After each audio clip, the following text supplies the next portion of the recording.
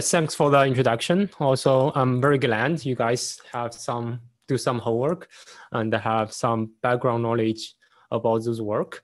Um, I think this talk I will try to have a more like a high level overview about our work and towards this interpretation of deep generative model. And of course, I will touch uh, upon this uh, the the closed form solution for the unsupervised learning. Um, but I think it's good to know the the story before that. You know how how we get into this unsupervised learning because we first looking into this uh, supervised learning approach uh, to in, for the interpretation. Um, so today, uh, my talk uh, is on interpreting deep generative model for interactive um, content creation. So if you're familiar with my work, so um, I have done several works on interpreting the deep neural networks. Uh, so starting from my PhD thesis work that we interpret the neural network trained for scene classification. So we visualize there are a lot of very interesting semantic concepts emerge in the deep generative uh, in the deep models uh, with the supervision of scene classification. Uh, so this work is more like an extension of my previous work of this network interpretation to generative model to see what can be learned and what concept can emerge inside the deep generative model. Okay, so let's start.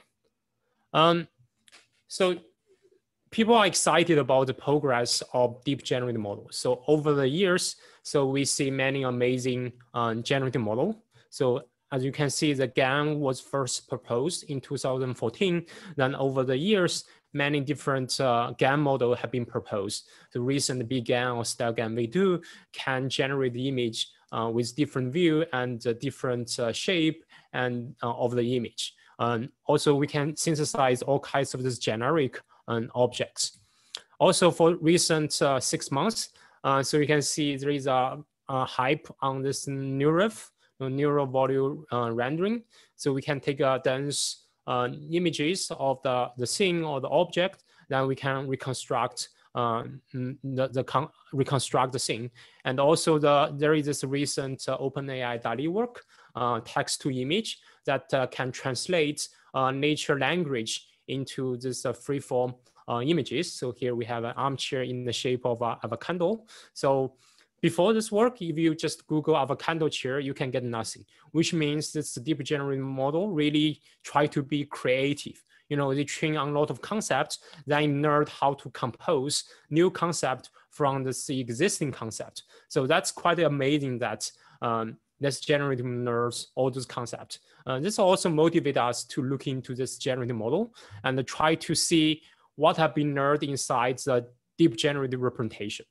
So, you know, here we are looking at uh, um, deep, uh, deep generative representation. So here is a, simply a GAN model trained from this adversary trainings. So, you know, after training, then we have this generator. Basically, it's just a, a deep convolutional neural network.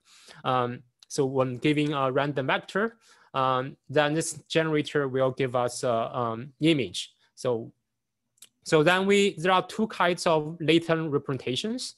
You know, we have the latent unit. So here I mean latent unit that is uh, convolution filters. So we want better understand this latent um, convolution filters. Uh, then another latent representation is the latent space. The latent space is important because you can see it is a driven force um, for all the things. If we change another latent vector, then the output image will change. So we want to look into both of the latent representation in the deep general representation. Um, so for the first part, so we have this live work that's to visualize uh, the individual unit. So this is a work, um, uh, is an extension from my previous work uh, or, or, in my PhD thesis work, uh, is a network um, dissection.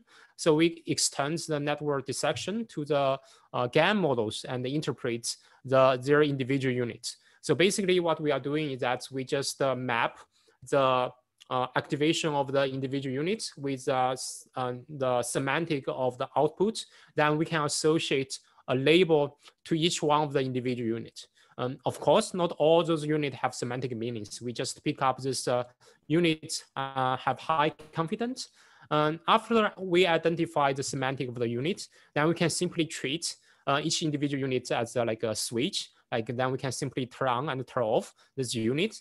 Then we can manipulate the image. So the demo showing on, on the right um, is just uh, the output image. Then user can like brush some regions. Then we can simply like turn on and turn off uh, those units. Then we can like change the content of the image. So it's very pretty cool. You can see user can simply brush some regions, like uh, remove the grass and change the shape of the buildings. Then we can change the patterns. So this is the work that we we interpret the individual units. So after we do this work, then um, then we further looking into the latent representation. You know, this latent representation is actually the driven force um, on everything. You know, if we change the latent vector, then the whole image will change. So we want interpret the latent uh, representation. So here is a, a very simple uh, observation. So here we simply can do some random walk inside the latent space. It's more like a, each time step. We just add some random noise on the original latent vector, then observe what the output change. Um, so you can see here, um, through this ra random walk in the latent space, um, there are all kinds of uh, semantic attributes uh, inside the latent space. You can see the, the bed, the, the views change, and the texture, uh, the color of the sheets, and uh, also some sometimes uh, the single bed changing to double bed.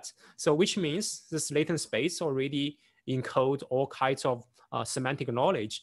If we can go there and align or identify the, the potential uh, semantic space, then ideally we can control the image generation process. Like then human can interact with the model and change the attributes uh, they want. So that is a uh, motivation behind this. So, so for for this scene understanding, you know, my research uh, is on scene understanding. Um, so to understand the things, there are multiple level of abstractions or multiple level of scene descriptors. So, you know, giving this uh, image, uh, we can have this uh, label um, description, like uh, this is a bedroom, and we know the attributes, the nature lighting, and the woods and the tides. Um, also, we can have this uh, like uh, um, 2D or 3D descriptors for the things, such as the layout. Then we can have this uh, structure line. Um, then that will describe the like 2.5 things for the for for this and also we can apply the semantic segmentation uh, then we can get the label for each pixel, such as a region of ceiling, a region of bed and floor. Um, so, so ideally for this given image, there are so many uh, levels of descriptors. Then we want to associate those descriptors with uh, the latent space. Um, also from this uh, result, you can see the descriptor of the scene is actually follow this uh, hierarchical orders. You know, we can first describe the, the layout of the environment. Then we can then include object inside or furniture. Then we can finally like the, put the texture and the color uh, inside. So this concept actually follow this uh, uh hierarchy. Um, so along with my student, um, Yang and Shen, so we're looking into this uh, latent space interpretation. So we propose a, a simple framework uh, that try to identify the causality uh, in the latent space. So basically we can start from this uh, image generation pipeline. Um, then we can apply some of the shelf um, predictors uh, to the output image you know, computer vision researcher uh, already developed a lot of these uh, predictors. Then we can easily extract those uh, concept from the output image. Um, so then after we have this uh, uh, concept, then we want to go back into the latent space and identify this cause effect relations to identify like if some like sub vector uh, activated, then attribute which kind of attribute will occur or disappear uh, in the image. Um, so so this framework, uh, starting from the latent space, so we first uh, sample a lot of random factor from the latent space. So here, each blue dot is a random vector. Uh, after we have this random vector, then we just throw the random vector uh, inside the generator G. Then we can have this uh, image space, you know, just have a lot of synthesized image uh, from the generator. Uh, then we can apply the off-the-shelf um, predictors. You know, then here we are looking at this uh, some binary predictors, just indoor uh, lighting condition, then we can have the predict scores for each one of the synthesized image. So here we can treat the predicted scores as a pseudo label for this latent vector. You know, for each the latent vector, we can have a label. Then, then here, then we go back into the latent space and train some linear uh, classifier in the latent space. Um, so it turns out a linear classifier uh, can achieve uh, more than 90% um, classification accuracy uh, for this binary attribute uh, classification, which means uh, in the latent space, a lot of concepts already quite um, disentangled from each other, then we can achieve uh, such high uh, classification accuracy. Then we have another final um, very important step. Uh, here we name it as a counterfactual verification. You know, the previous three step is more like just learning or correlation. You know, correlation uh, doesn't indicate the causality. You know, we want to escalate uh, the correlation into causality. Then we have to uh, manipulate the latent space and observe uh, how much the output attributes change.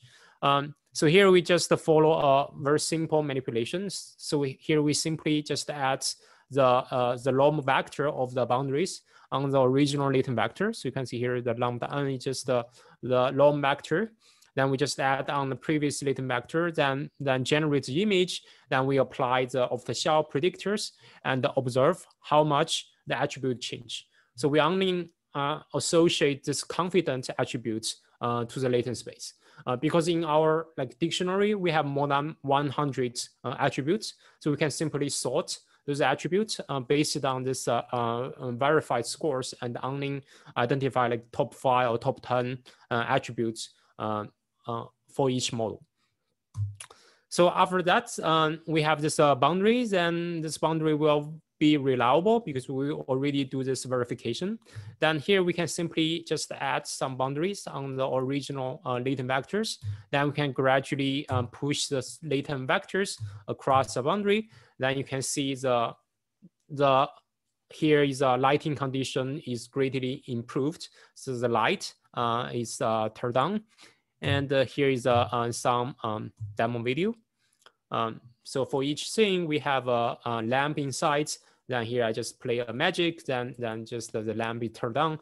And also the global lighting is also changed accordingly. So it's much better than the simple Photoshop result because, you know, this, uh, the, the global lighting uh, is consistent with this uh, turned on uh, lamp. So in the latent space, not only we can identify this uh, um, indoor lighting, we also can have this cloud, long clouds, or vegetation or long vegetation uh, boundaries. So here is a, a, more demo. You know, here we have some images. So the background uh, is very blank, so it's not ideal. Then we want include some cloud inside. So then we simply push the latent codes across a cloudless boundary. Then the cloud just grow out uh, in the sky. Uh, you can see for the second example, there is even very beautiful sunset uh, color uh, projected on the building and on the backgrounds. So it's a very realistic uh, manipulation.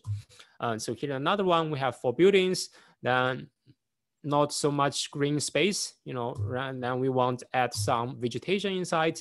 Then we just push the uh, latent code across a vegetation boundary.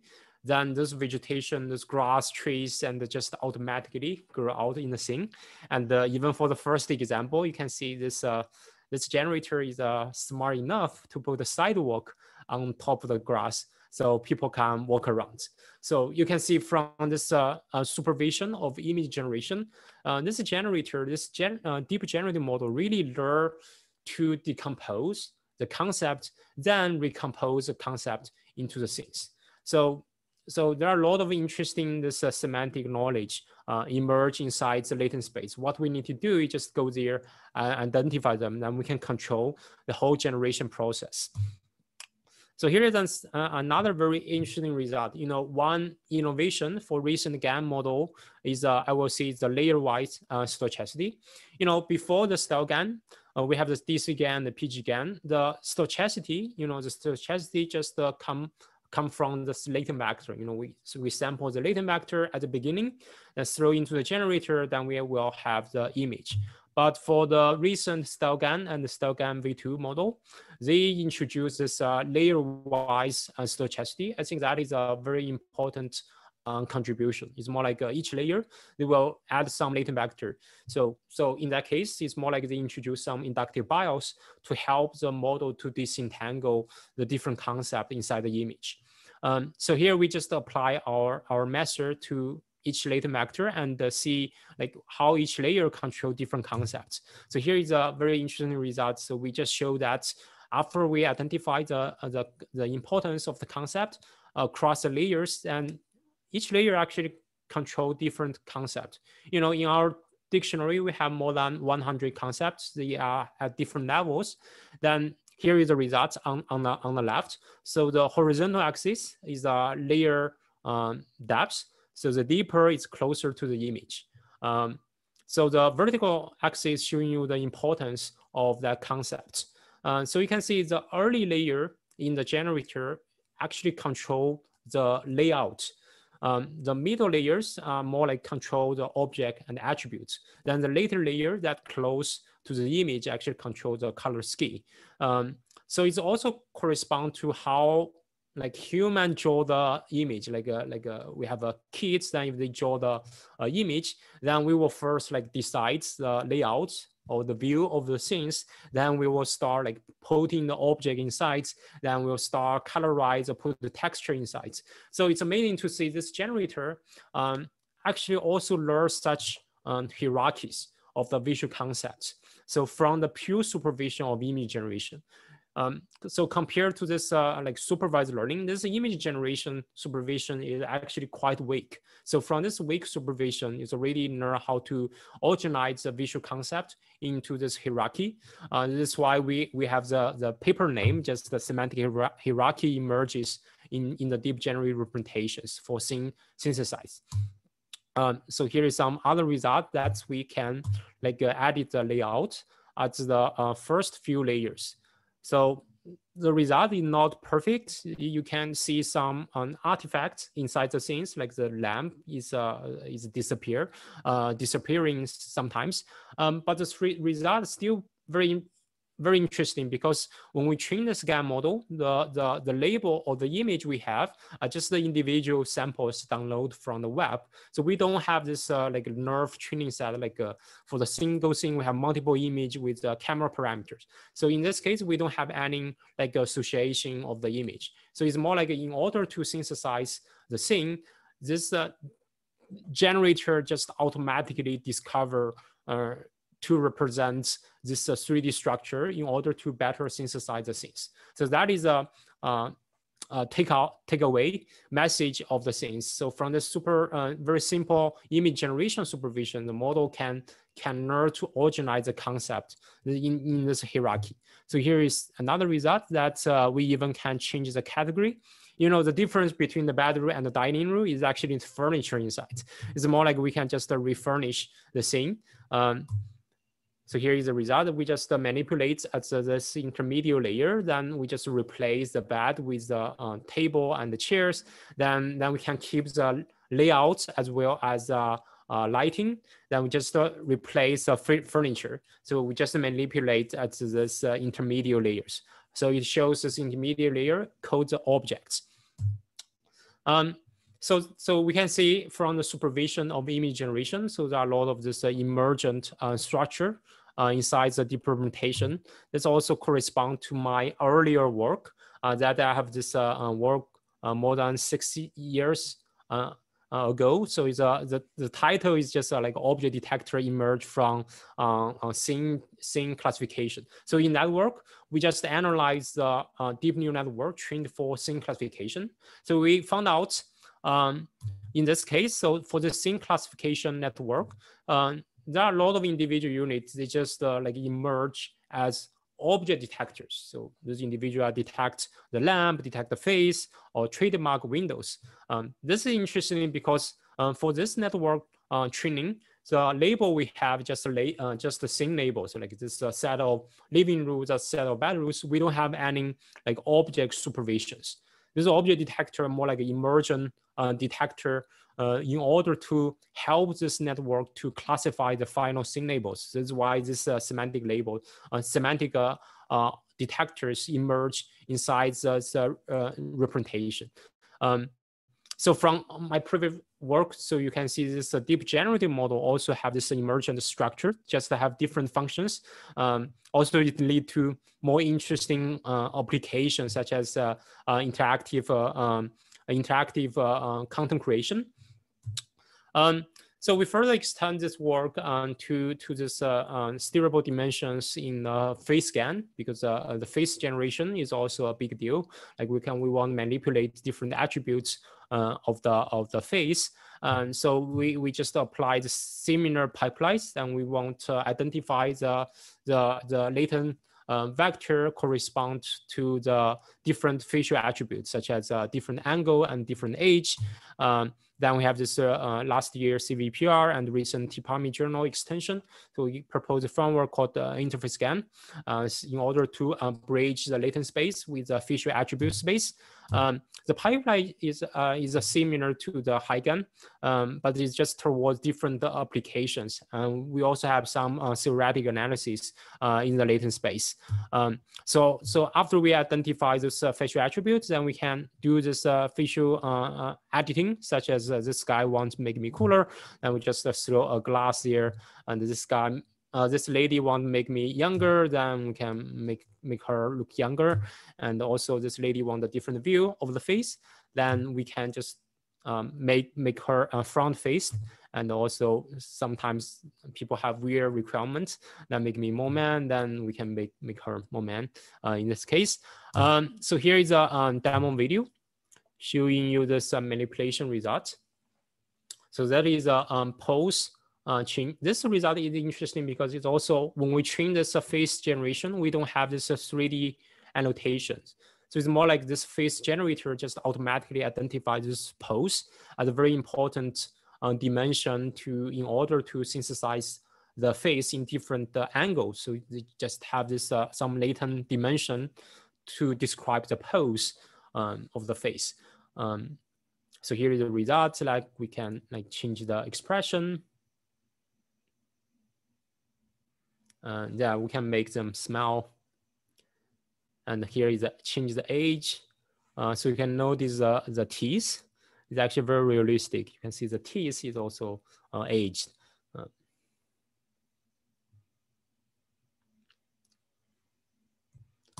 um, so, you know, there is also some uh, related work. So I would like to highlight. So here is a, a, a work uh, from MIT, Philip Isola's group uh, on, on the steerability of deep generative models. So they also show that in the um, big GAN trained on ImageNet, there are also some um, steerable dimensions inside uh, the model. So here another uh, work from uh, their group that they use uh, this kind of framework to improve the memorability of the image. They show that they, they if they can have a like a memorability predictor, then they can use this uh, uh, predictors to help to improve the memorability, like uh, they just zoom in uh, or change the color of the pepper into red, then this whole image will become more memorable. Um, uh, then we move to um, this more recent work that the motivation is that how can we identify the steerable dimension of different model? You know, we have people start training the generative model for all kinds of images. Like we have a generative model trained for cats and the generative model trained for cartoon characters. So, you know, for those kind of um, model, we don't have the off-the-shelf um, predictors, or it's difficult to collect annotations um, for all kinds of images. Then that's lead us to this uh, unsupervised uh, learning of steerable dimensions. So probably you're already familiar uh, with this work. Um, so we want um, develop some unsupervised learning approach um, to discover the steerable uh, dimensions.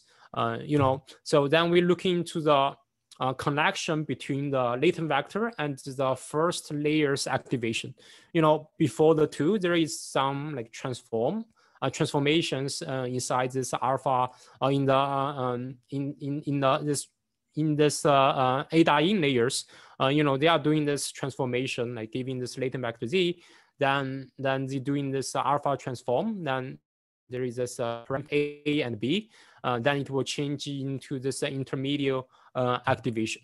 So the observation here is a feature um, difference or the feature residual after editing is actually independent of the latent vectors.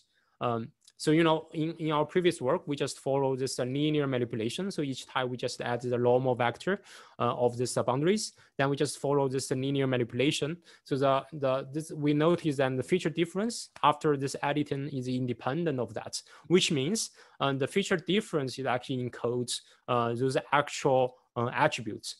Um, so in that case, then we develop some objective to maximize the variation of the difference. So we want this uh, feature difference to encode all kinds of uh, attributes. So then we develop this uh, uh unsupervised learning uh, objective. Uh, so it turns out if we want to maximize this feature difference under some conditions, then it simply become more like solving this eigenvector of this equation. So, so after we solve this, so it can be solved in a closed form solutions. So after we do this um, uh, calculation, then we can identify the steerable uh, dimensions. Then we, we can have this uh, interface. Then user can can simply like play with the slider bar and change the um, intensity of these different dimensions. That can change the um, different attributes uh, of the uh, of, of the output the image. So change the layout, a different shape and attributes, right? Um, okay, so I um, finish this part, then uh, how much time I left? I, I yeah, and uh, maybe if, if we could go maybe another five minutes.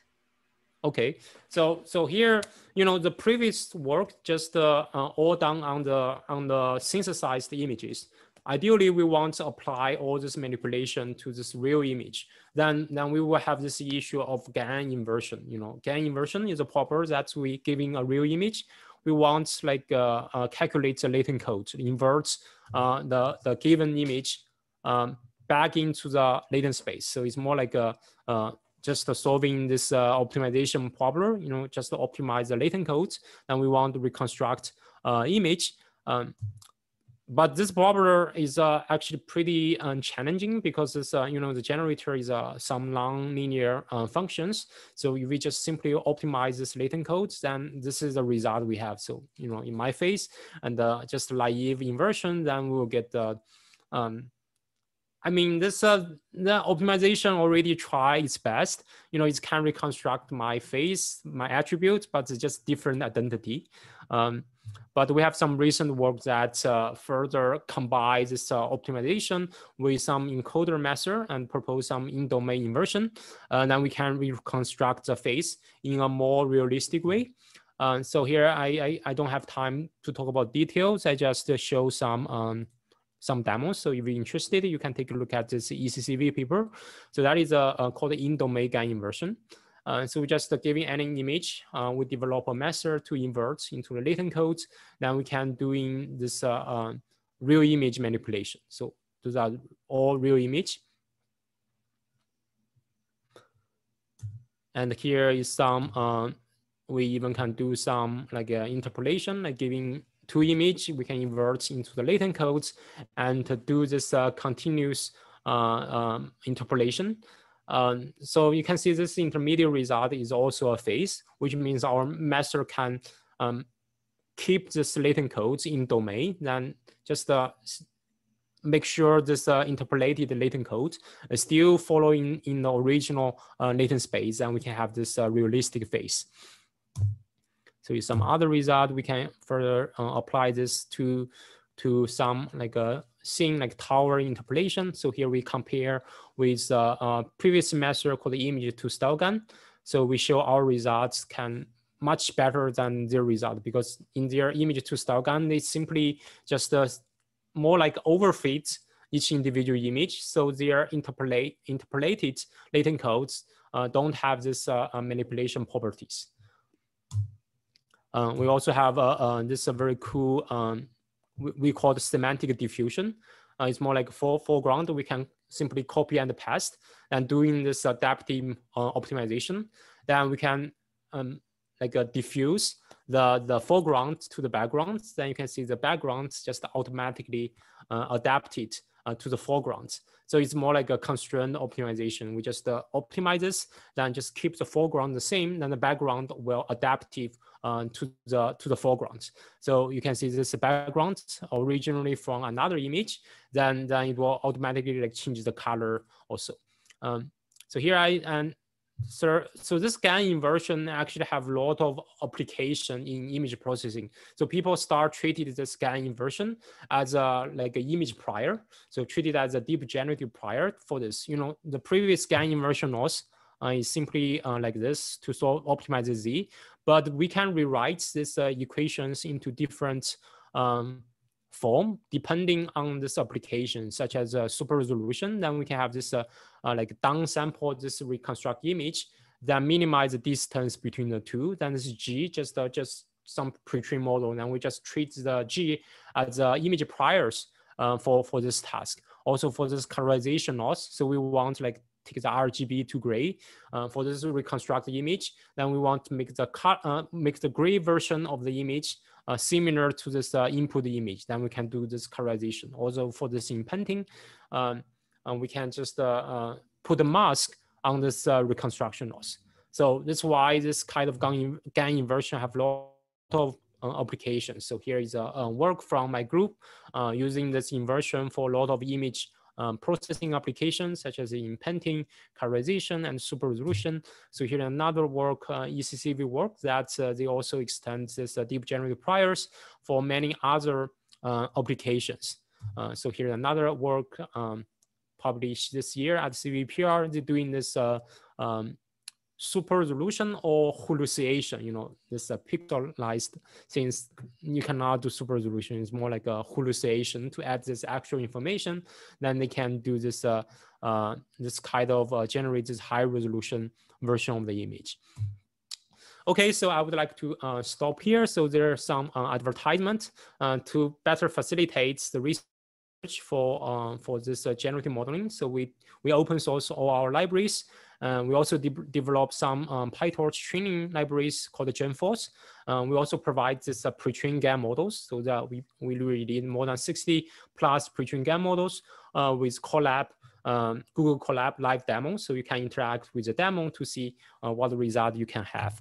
Uh, also recently, uh, um, my big lab, this MM uh, lab, uh, developed this open MM generation. So it's a training pipeline in PyTorch. So you can easily train this uh, StyleGAN v2 or even um, I think the BigGAN will soon be supported with this pipeline.